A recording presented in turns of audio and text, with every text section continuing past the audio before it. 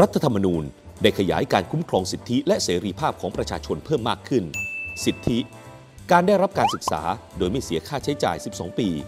การได้รับบริการสาธารณสุขของรัฐ ผู้ยากไร้มีสิทธิ์ได้รับบริการสาธารณสุข โดยไม่เสียค่าใช้จ่าย มารดามีสิทธิ์ได้รับความช่วยเหลือจากรัฐ ทั้งก่อนและหลังคลอดบุตร ผู้มีอายุเกิน 60 ปี ที่ไม่มีรายได้เพียงพอแก่การดำรงชีพ และผู้ยากไร้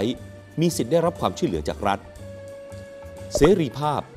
ประชาชนมีเสรีภาพในการนับถือศาสนา การแสดงความคิดเห็น การติดต่อสื่อสารถึงกัน การประกอบอาชีพ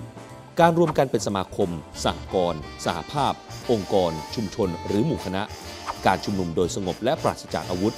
การจัดตั้งพรรคการเมือง และสื่อมวลชน มีเสรีภาพในการเสนอข่าวสาร หรือแสดงความคิดเห็นตามจริยธรรมในการประกอบอาชีพของตน สิทธิหรือเสรีภาพใด เมื่อยังไม่มีการออกกฎหมายใช้บังคับ ประชาชนหรือชุมชนก็สามารถใช้สิทธิ หรือเสรีภาพนั้นได้ตามเจตนารมณ์ของรัฐธรรมนูญ ประชาชนที่ได้รับความเสียหายจากการถูกละเมิดสิทธิหรือเสรีภาพ หรือจากการกระทำความผิดอาญา มีสิทธิได้รับการเยียวยาหรือช่วยเหลือจากรัฐ เพื่อป้องกันไม่ให้มีการออกกฎหมาย เพื่อจำกัดสิทธิและเสรีภาพของประชาชนเกินสมควร รัฐธรรมนูญได้กำหนดหลักในการออกกฎหมายไว้ว่า กฎหมายนั้นต้องไม่ขัดต่อหลักนิติธรรม ไม่เพิ่มภาระ หรือจำกัดสิทธิหรือเสรีภาพของบุคคลเกินไป และต้องไม่กระทบศักดิ์ศรีความเป็นมนุษย์